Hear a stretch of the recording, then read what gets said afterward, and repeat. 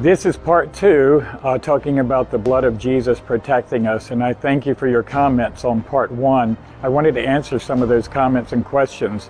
Uh, this is at our school office door. And the reason I put paint was because some families are fearful. And I wanted to remind them we're under the blood of Jesus. No, I am not saying that red paint protects you from sickness or disease, not by any means.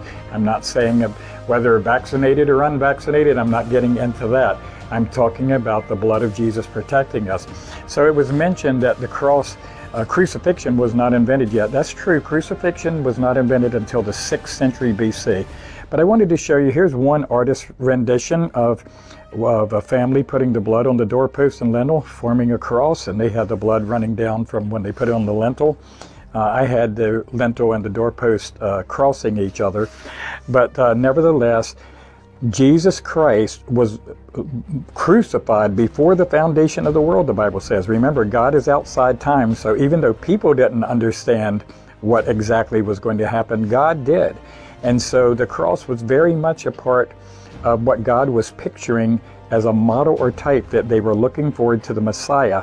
So although they might not have realized the cross and the value of it at the time, God still nonetheless used the symbol at that time. When the children of Israel were complaining and bit by serpents, God told Moses to put a brass serpent on a pole, and as many as looked lived, because it was just a matter of looking by faith. What is a, how does a brass serpent represent Jesus? Brass represents judgment. A serpent represents sin. This means sin judged on a pole, and you can see that pole is a cross to hold that serpent. So it was looking forward to the offering of Jesus Christ once for all for the sins of the entire world. When the children of Israel gathered together in their camps as they were moving, the tabernacle would be set up in the center. God said three tribes were to camp to the south, three to the north, three to the east, three to the west, and their camp formed a cross.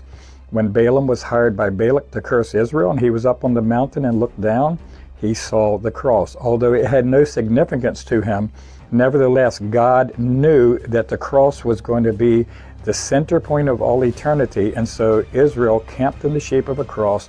The serpent on a pole, when the people looked by faith, even though they were sinners, they looked by faith, they were saved. And when the blood was put on the doorpost and lintels, God looked upon that blood, and it didn't matter who was inside, what kind of life they had, it was a matter of being under the blood.